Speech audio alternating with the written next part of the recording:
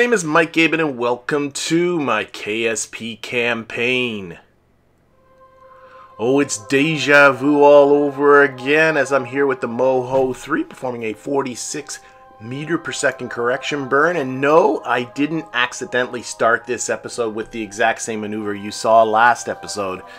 But it is very, very familiar. Last episode you saw me doing very similar burn to this one, a correction burn, except this one was setting up an Eve flyby. That was last episode. And my idea was to do an Eve flyby and then get myself to Moho where I would need to do a capture and then get back to Kerbin. Um, the problem was, is in order to get that Moho capture on this go around, I required a 3 kilometer per second burn at Eve, or else I wasn't going to get that Moho encounter at all. And that, well, that's pretty expensive and made sort of accomplishing what this thing needs to accomplish, uh, well, a little bit dubious. And it was only after the fact that I started thinking and I went, you know, there's no rule that says that Moho 3 has to encounter Moho this turnaround on this particular orbit about the sun. So what this burn's done is it took away that Eve flyby. So now I'm not going to fly by Eve. No big deal there. Actually, I have a crewed mission on its way to Eve that you will be seeing actually later this episode.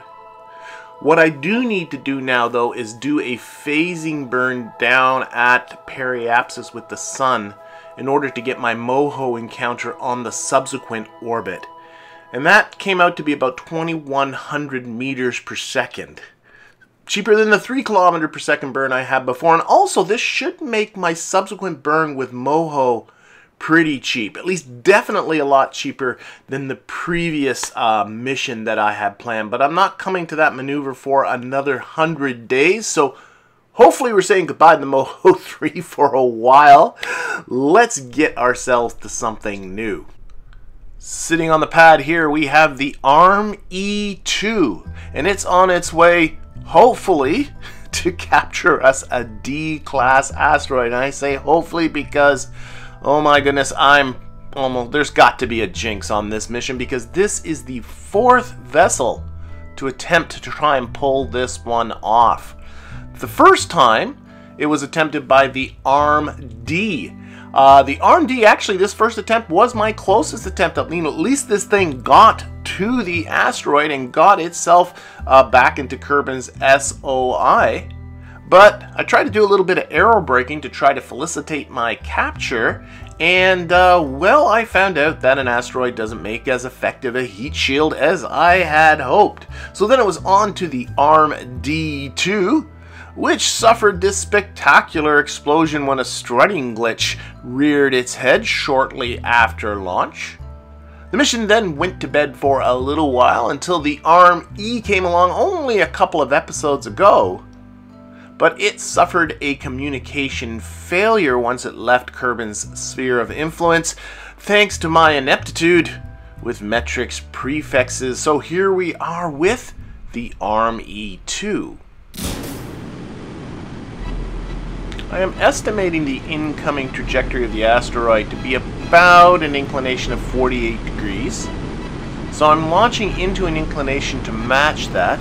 As well, I'm launching at a time so that I'll be following that trajectory out of Kerbin's SOI. That should help facilitate the rendezvous and make the rendezvous work out that much easier.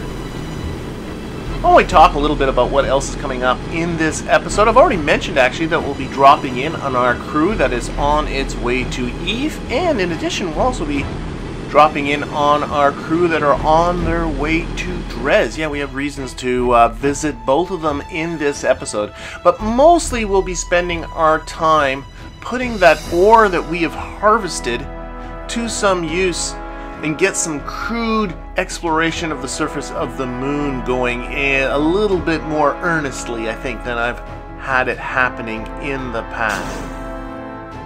Once LKO was established, a 950 meter per second prograde burn got me a close approach of about 2200 kilometers in 13 days. We won't be needing to make any further adjustments until we're out of Kerbin's SOI, but that's going to have to wait until next episode. In the meantime, let's get ourselves over to the moon. where we'll join Buruk and Wilman, whom at the end of the last episode we saw leaving the moon's sphere of influence with this huge bounty of ore to the front of the Kerion 3. And that was in order to fulfill a requirement to put uh, a ton of ore. I don't know, I'm not talking literally a ton. It might be literally a ton. I don't know. It's more than a ton. but a whole lot of ore in orbit about Kerbin. But I didn't want to put the ore to waste. And I wanted to get back to the moon. So, uh, Buruk and Willman, they've done a couple of orbits of Kerbin. And now they are back at the moon. More specifically, are they are back at the moon harvester. And we're going to redock get this ore starting into the refining process so we can hopefully make a little bit of use out of it. Oh man, this thing is sluggish to say the least. And that has definitely everything to do with this huge quantity of ore stuck to the front of the vessel. I've actually disabled the main reaction wheels that are in behind the hitchhiker can. And the only reaction wheels I have going are the hitchhiker are the reaction wheels that are in the command capsule towards the front there because those are far closer to where the actual center of mass of this thing now is with all the ore at the front of it. So I have to put on the RCS now and again just to help with attitude control. And with both reaction wheels going, I'd get this uh, this crazy wobble going across that docking port, which which wasn't good and would definitely make this docking very difficult. Even with this, it was still pretty tedious, so I had to get in. It was all doable, but it was tedious and slow, so why don't we just get ourselves over to the actual docking here. There we go. And I thought right off the bat, why don't we turn on the harvester, the uh, convertitron, that's the word I was looking for, and actually create some monopropellant and top up the monopropellant tanks on the Kerion 3 because I have used more monopropellant than I normally would because of my heavy use of RCS. But otherwise, the Kerion 3, you know, is doing pretty good as far as resources goes and uh, has plenty of liquid fuel, more than it needs. So what I did is I undocked pretty much right away. I'm going to leave the harvester back, just doing its job, making liquid fuel and oxidizer to support some moon missions. And then we'll get the Kerion 3 back to Shelkal in Yoi Station. Shelkal's been on his own for about 10 days, so we should be getting back to him. Now, Yoi Station is in about identical in orbit to the orbit we are in now, so getting back to it was all pretty easy and routine, and now without that huge mass of ore sticking at the front of it, the Kerion 3 was once again its old lovely maneuverable self. There we go. Now the plan was to bring the harvester this way next, and then to take our lander, the Kegel 4, and dock it with the harvester and fill up the Kegel 4 so that we can do a moon landing. But it turned out that the RMB, which is what brought over the second asteroid, is still attached to the second asteroid, had still quite a lot of liquid fuel and oxidizer left aboard after completing its mission to bring over this asteroid, and turned out it was more than enough to refill up our lander, the Kegel 4. Now I do have a contract still to investigate an anomaly on the surface and when I took a look at map view here, it turned out that that anomaly was due to pass below us in just a little bit over an hour, it looked like. So, like, hell, let's get this show on the road. Yeah, it's looking like our anomaly is right in the center of this big crater that's coming up. You can see we got Shelkal along. Shelkal is more than happy to get his legs stretched he needs to get out of that science lab that I've had him cooped up in for way too long. It's looking like I got this lined up pretty good. That is partially thanks to ScanSat. ScanSat is great for uh, helping to pick which orbit it is that you need to begin your descent on. And of course the trajectories mod for providing this nice red X predicting, well, at the time this shot's being taken, an impact site, not a landing site, but it certainly helps you line these things up. And it really does help put you the, put these things right down onto the money. Unfortunately, this crater is one of the Midland craters, and we have landed in Midland craters before, so there is not much science to get. Either way, will EVA Shalcal get... Oh, oh, message from Mortimer. Well, this seems rather mundane. I'm not sure it was worth all the funds it took to get you here. Funds? What funds? We're reusing a vessel, and even the fuel is left over from another mission. Oh man, you cheap bastard, Mortimer. Anyway, we'll get Shalcal here to plant a flag right on top of the monolith. Okay, message time The Kegel 4, Shalcal, Burek, and Wilman. Oh, I think this may be the last of these. by that I mean the monoliths. It certainly feels like we visited a lot of the monoliths. Something tells me there's still lots more out there. Alright, now. Not a lot of science here, so uh, we're going to pick another place to go. Where should we go next? Ooh, the Northern Basin. That's attractive. It's got 10% ore concentration, which seems to be the highest concentration on the moon. And we've never been to the northern basin before, so there'll be lots of science to get. And I briefly considered doing a hop. It's pretty much just due north of where I am. But that would likely leave me without enough fuel to obtain an orbit. Now I can land the harvester, and in which case I'll have as much fuel as I will ever need, but what if something went wrong during the lander uh, landing of the harvester. We got limited life support on the Kegel. No, I, I think we would be in trouble if that would happen. So I think the safer thing to do is to head back to the station where, where we can do some restocking there and then we'll get ourselves back down. Station, of course, is in a polar orbit. But it, that orbit has moved westward while we've been sitting on the surface, or actually, more properly, of course, the moon has rotated eastward. So I ended up aiming towards the west to try and facilitate the two orbits crossing, which was, after finishing this all off, I realized was completely unnecessary. Uh, orbits are going, the planes of orbits are going to cross regardless of the direction in which I launch. So this is actually only making the relative inclinations of the two orbits uh, higher, which is going to just increase the cost of the rendezvous.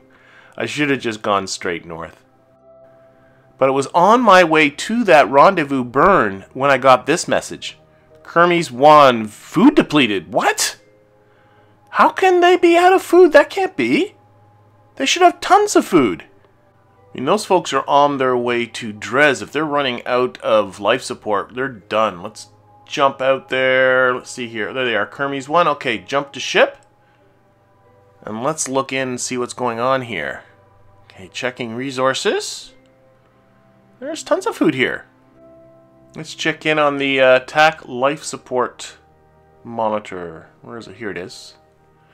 One year, 297 days. Okay, I guess they're fine. I suppose that was a false alarm. I'm not sure quite what triggered it. Huh. Let's just actually check on these folks while we are here. The rotation is being provided by the persistent rotation mod.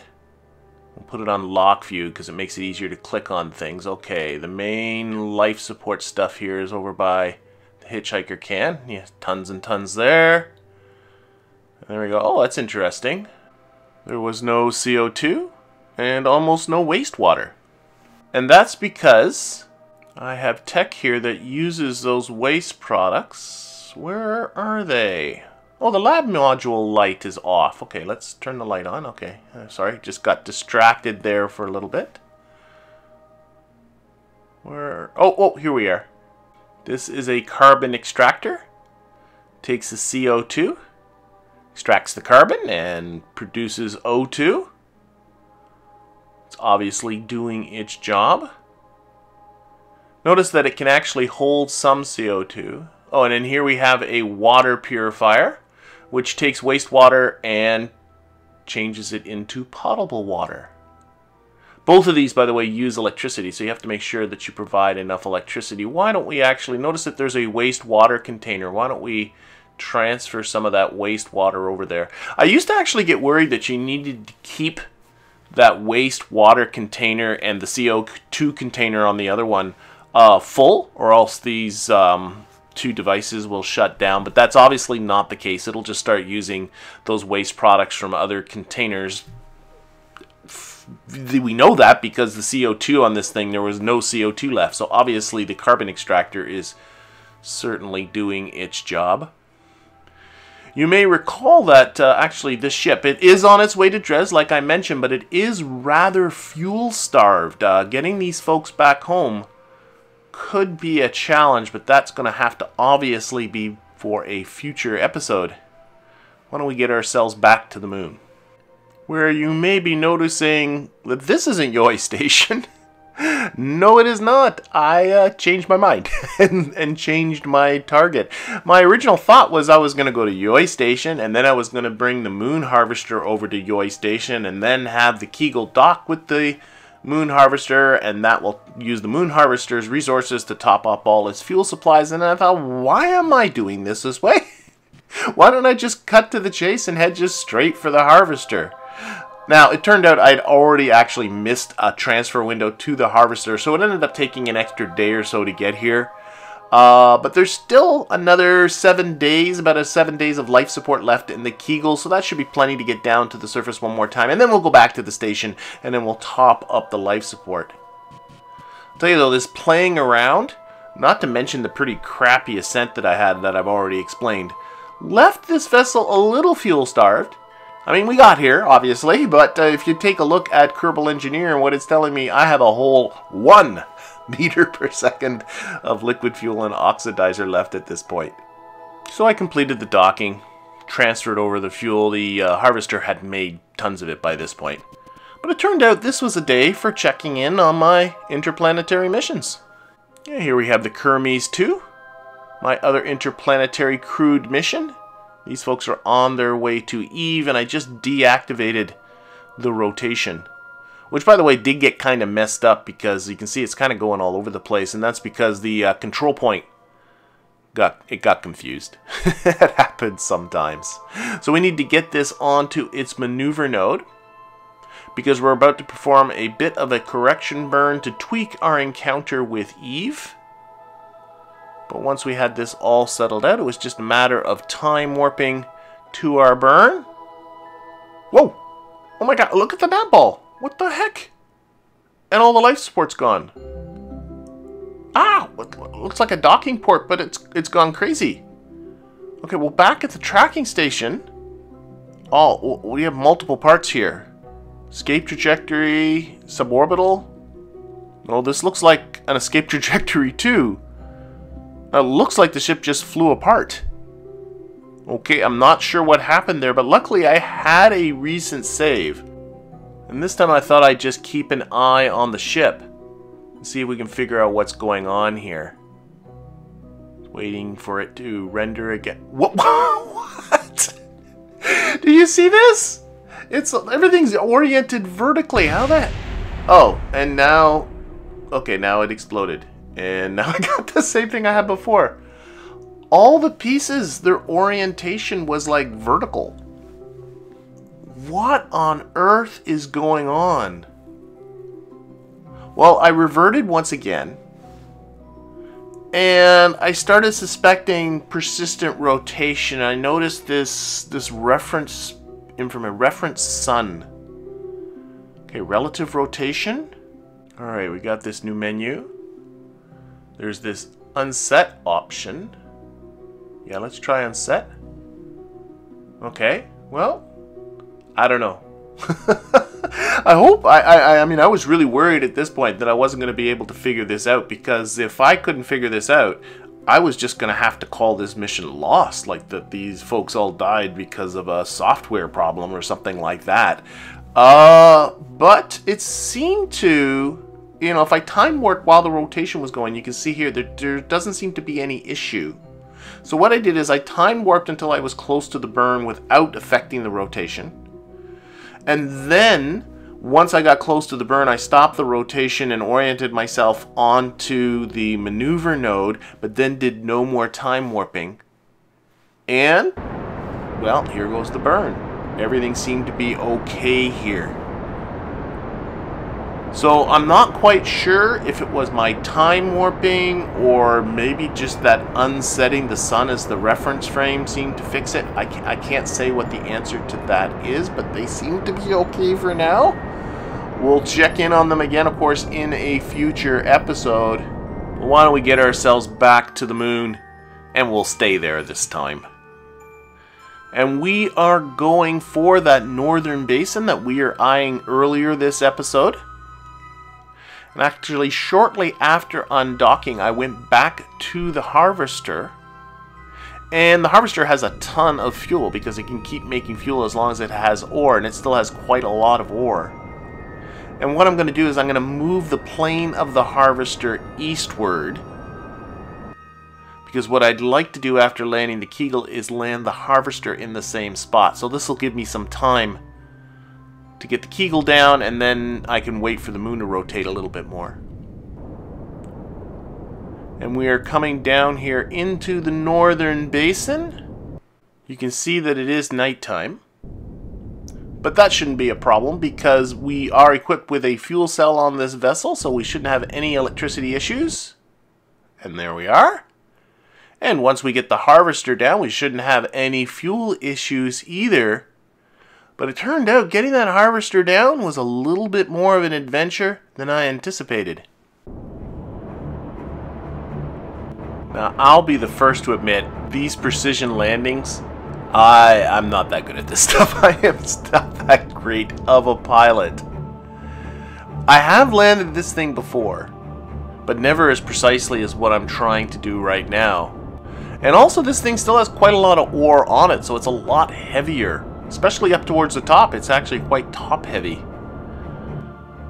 And so that's making this a little bit of an extra challenge. Well, here it seems like I'm coming close. Let's try and just get it down, and then we'll assess the situation. And, oh, wait, wait, wait, no, it's falling over. Uh, get out of here. So I uh, fought with this for a little bit. And then finally just realized, like, what the heck am I doing? Why am I trying to precisely maneuver this big, heavy, awkward vehicle? Let's just get this down to the surface and maneuver over the far more nimble Kegel. Now, if you look to the left there, you'll notice that I already have a Kerbonaut down there on the surface. That is Wilman, our engineer. Once I got about 50 meters away from the harvester, uh, EVA'd Wilman, and he is marking how far one of those KIS fuel pipes will stretch. so I need to get within that distance in order to uh, be able to hook these two vessels together and transfer resources back and forth.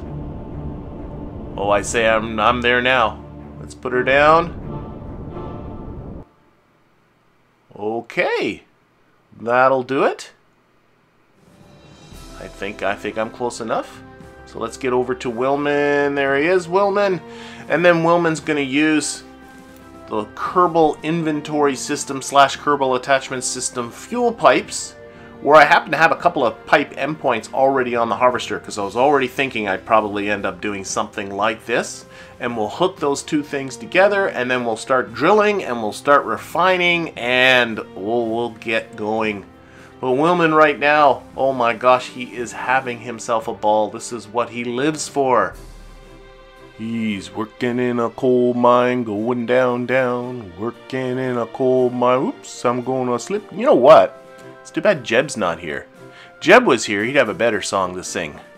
Come, listen to my story about a man named Jeb. Poor Kerbonaut barely kept his crew fed. And then one day he was shooting for some food when up from the ground came a bubbling crude ore that is. Black gold. Kerbal tea. Yeah, I am that old. so we'll get the whole harvesting processing happening. We'll fuel the Kegel back up. I got about five days to get these folks back to the station before they start to run out of life support, but I don't think that should be a problem. But I think that's going to have to be for the next episode. In the meantime, I thank you for watching, and hope to see you again next time. Said an equatorial launch site is the place you ought to be, so he loaded up the truck and he moved to the KSC Space Center, that is. Rocket ships, Delta V.